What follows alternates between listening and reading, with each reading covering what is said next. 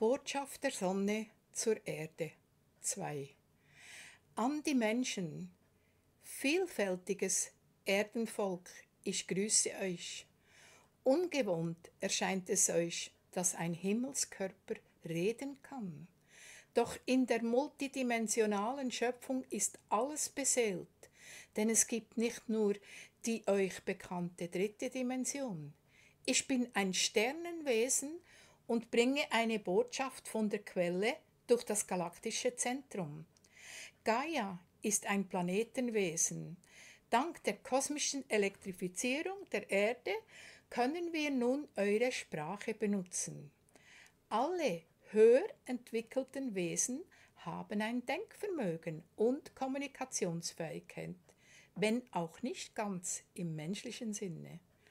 Die ganze Schöpfung ist durch die allumfassende Liebe von Vater und Mutter Gott entstanden. Diese Liebe wirkt im ganzen Sein. Deshalb reagiert alles im Weltall auf diese Liebe und alles kann sie auch erfassen. Somit könnte man sagen, die ganze Schöpfung sei bewusst. Doch auch hier gilt wieder nicht genau im menschlichen Sinn. Durch religiöse Prägungen haben Menschen das Gefühl, sie seien die Krone der Schöpfung. Ja, Menschen sind einzigartig, weil ihnen die Möglichkeit der Unterscheidung in die Wiege gelegt wurde. Ihnen wurde mit dem Körper eine Persönlichkeit geschenkt, die sie entwickeln können. Im Gegensatz zu manch anderen Wesen ist diese Persönlichkeit des Menschen zu Beginn der Entwicklung nicht identisch mit seinem Seelenwesen. Die irdische Persönlichkeit unterliegt dem Gesetz der Natur. Die heutige Medizin betrachtet den biologischen Körper oft wie eine Maschine und behandelt ihn entsprechend. Viele Menschen wehren sich heute gegen diese Vorstellung, weil solche medizinische Behandlungen oder Eingriffe oft nicht den erhofften Erfolg bringen. Und doch hat die Medizin nicht ganz unrecht. Der Körper ist die Schaltzentrale des Menschen. Diese Schaltzentrale sollte jedoch von menschlichem Bewusstsein bewusst bedient werden. Bei vielen Menschen übernimmt der Intellekt statt des Bewusstseins die Bedienung dieser Schaltzentrale, weil diese Menschen vergessen haben, ihr Bewusstsein zu entdecken und mit dem Intellekt zu koppeln. Das erzielte Resultat zur erhofften Gesundheit ist deshalb oft sogar bei alternativen Behandlungen zweifelhaft oder unvollständig.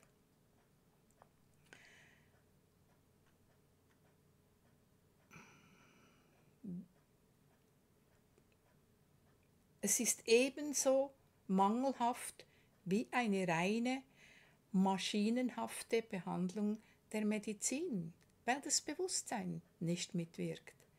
Praktisch jede, jeder Krankheitsfall entsteht durch eine Verbindung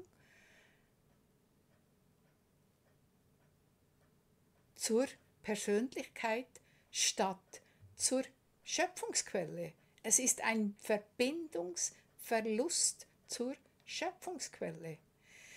Der Intellekt meint es gut und will positiv denken und die Verbindung zur Seele herstellen. Doch er bemerkt nicht, wie viele wichtige Bedienungselemente von dieser Schaltzentrale ihm nicht zur Verfügung stehen weil sie nicht freigeschaltet sind.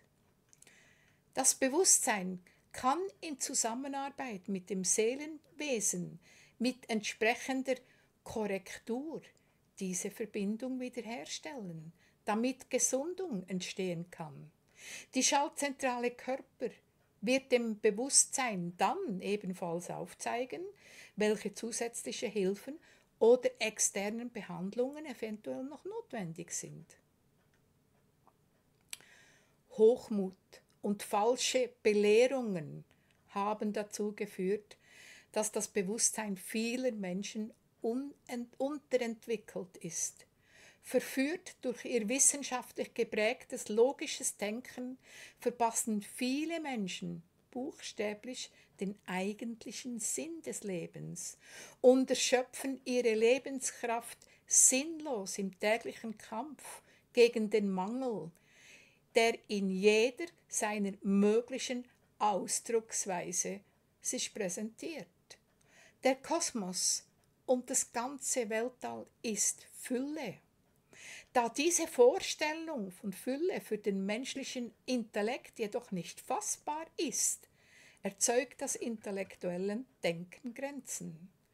Nur das Seelenbewusstsein kann Fülle erfahren, erfühlen. Durch die Besonderheit des menschlichen Wesens hat die Persönlichkeit, welche die irdische Präsenz des Menschen ist, nicht automatisch Verbindung zum eigenen Seelenwesen.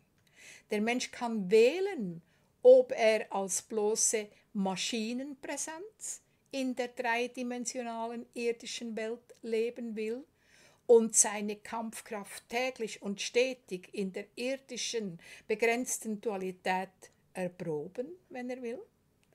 Gewinnen kann er diesen Kampf schlussendlich nicht, weil Materie vergänglich ist. Dieser mutige Kämpfer schließt sich selbst in einem goldigen Käfig ein und merkt es oft erst, wenn seine Lebenskraft zur Neige geht. Und zwar darum, weil er das rechtzeitige Auftanken in der Fülle verpasst hat. Die Schule des menschlichen Lebens ist anspruchsvoll. Den Intellekt zu formen und sich Bildung durch Wissen anzueignen, ist nur ein kleiner Teil dieser Schulung. Das Seelenbewusstsein ist ein höherdimensionales Wesen. Nur während der irdischen Existenz wird es dem dreidimensionalen Intellekt untergeordnet, damit die menschliche Persönlichkeit sich aus ihrem eigenen Wollen heraus entwickeln kann. Das Seelenwesen weiß, dass die menschliche Existenz mehrdimensional ist. Es weiß, dass es außerhalb der dreidimensionalen Realität keine lineare Zeit gibt.